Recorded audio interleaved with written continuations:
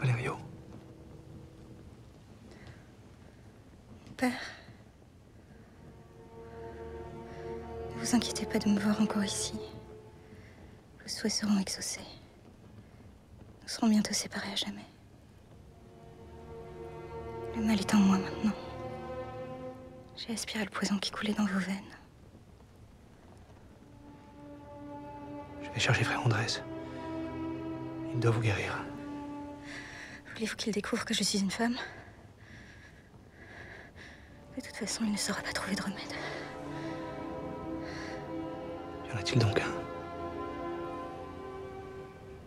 Répondez-moi. Oui, mon père. Je connais un moyen.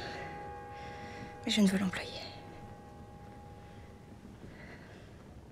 Si je l'emploie et que je vis, vous allez me demander de partir. Je préfère mourir avec vous à mes côtés. Employez ce remède.